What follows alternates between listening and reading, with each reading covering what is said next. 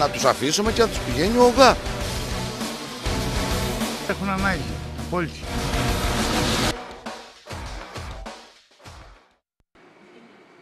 Νεφροπαθείς που παίζουν κορώνα γράμματα τη ζωή τους αν δεν μεταφερθούν στα κέντρα αιμοκάθαρσης. Οδηγεί ταξί που παραμένουν απλήρωτοι από τον Ιανουάριο και οι φάκελοι των δικαιούχων στα αζήτητα εδώ και 8 μήνες. Είμαστε αναγκασμένοι πλέον να τους αφήσουμε και να τους πηγαίνει ο ΟΓΑ. 8 μήνες μετά έχουμε φτάσει σε αδιέξοδο και έχουμε σηκώσει τα χέρια ψηλά όλοι μας. Αφού δεν πληρώνει που δεν πληρώνει, να τους παραλαβαίνει κάθε πρωί ένα-ένα να τις πηγαίνει. Είναι οι όψεις του ίδιου νομίσματος το πρόβλημα που έχει προκύψει με την αποζημίωση του μεταφορικού έργου στο Ηράκλειο. Οι ιδιοκτήτες ταξί που καλύπτουν από την τσέπη τους όλο αυτό το διάστημα τα έξοδα για τη μετακίνηση των νεφροπαθών έχουν φτάσει στα όρια τους. Τα καύσιμα τα βάζουμε κάθε μέρα, ΦΠΑ πληρώνουμε. 8 μήνες. Πού ξανακούσει 8 μήνες; Θέλω από κάθε εβδομάδα γύρω στα 75 με 85 ευρώ. Μόνο καύσιμα. Μόνο καύσιμα. Λοιπόν, αν καταλαβαίνω ότι είναι πολλά οι ανεγκέφαλοι που είναι εκεί πάνω, ας τα βάλεις στη τσέπη και να μας αφήσεις να πεθάνουμε.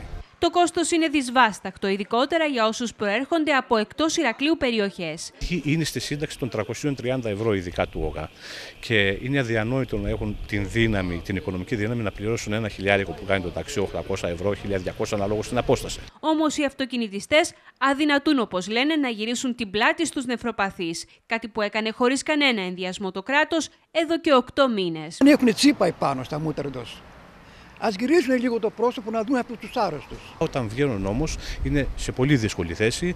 Ε, αναγκαστικά είμαστε εκεί και όχι μόνο ως οδηγοί αλλά και ως βοηθοί νοσηλευτές, να το πω έτσι. Θα τους μεταφέρουμε με το καρότσι αν χρειαστεί κτλ. Οι διοκτήτες ταξί και αρκετοί νεφροπαθείς που βρίσκονται στο πλευρό τους πέρασαν το πρωί το κατόφλι της προϊσταμένης του ΟΓΑ στο Ηράκλειο για να διαπιστώσουν εμβρόντιτοι ότι οι φάκελοι με τα δικαιολογητικά που έχουν καταθέσει για να αποζημιωθούν παραμένουν στα συρτάρια.